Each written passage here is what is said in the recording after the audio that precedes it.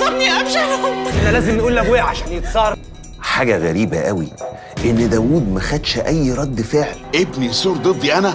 وجود أخي توفل مهم قوي معانا إحنا من غيره مش هنعرف نعمل أي حاجة. الأخبار عندي أنا. ووصى رجالته لما أمنون يسكر يتلموا عليه يضربوه ويقتلوه. ده إزاي تسيب أمنون يفلت بعملته بعد اللي عمله مع ثمار